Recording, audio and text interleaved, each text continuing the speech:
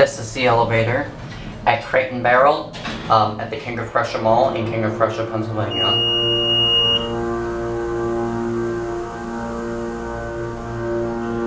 Here are two, one.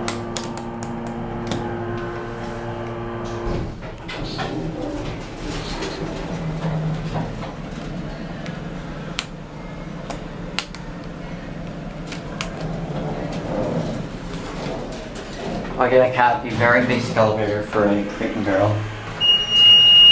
Are fixtures, capacity, um, 2,000 pounds. at one. That's